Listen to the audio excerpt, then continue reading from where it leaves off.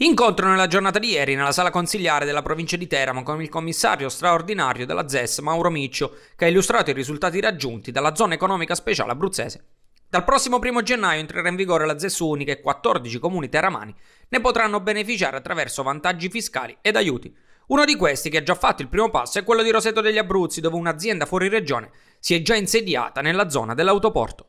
Sì, ieri è stato un importante incontro in eh, provincia, no, ringrazio il professore, il commissario di governo, il professor Miccia, rappresenta anche la Camera di Commercio con la dottoressa Ballone e l'ingegner Dattoli, presidente di Confindustria. Roseto ha avuto un ruolo centrale in quanto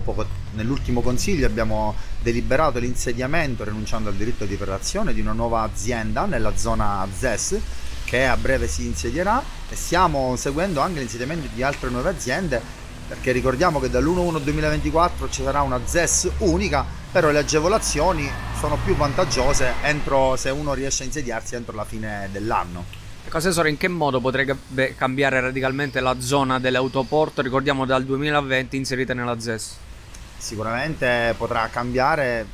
dando una vocazione proprio industriale, artigianale di quella zona che è nata, è stata creata appunto per avere quella, quella vocazione. La ZES ci aiuta a creare e a rafforzare lo sviluppo di quell'area su cui noi abbiamo sempre creduto. Quindi l'auspicio è quello di incentivare nuovi imprenditori o nuove aziende ad insediarsi in quell'area che oltre ad avere dei vantaggi a livello fiscale e anche a livello finanziario c'è un vantaggio nella ZES che riguarda le tempistiche che sono molto più brevi le pratiche a livello comunale in quanto la ZES appunto semplifica e agevola l'insediamento produttivo